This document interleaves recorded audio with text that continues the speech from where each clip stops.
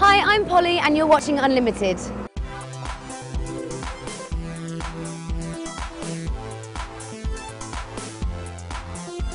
Today, in honour of the Cockney Rhyming Slang Appreciation Society on Facebook, we're here in Brixton Market to test out some proper slang on some proper Cockney. So come on, let's have a butcher's.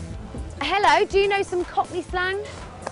Apples and pears. Brilliant, Butcher's yeah. hook, the standard one. Oh, you're an expert, brilliant. expert. All right, then I'm going to test you. What's apples and pears mean? Stairs. Apples and Stairs, pears? stairs, Lovely. stairs. What's apples and pears mean? Fruit. Apples and pears, apples and pears. Pie and mash? This is a bit of a rude one. Oh, I know that one. Bees and honey? Money. Yeah! Chevy Chase, face. Do you know what um, Chevy Chase is? Face. Face. Face. It's an actor. Dead. Shit. No, what's that one? Face!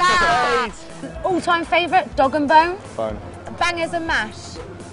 Yeah, sausages. Billy Pipers? Snipers. I don't know. Wind- windscreen wipers. Yeah! All right, all right, okay. Brilliant. Well, I think Okay. you've been fantastic. And have you got a favourite all-time Cockney? A real Cockney man that you, you know? I don't know. Jason Statham's pretty good. Michael Caine. Charlie Chester. Who's that?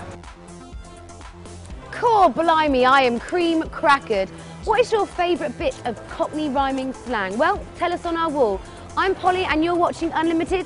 See you next time.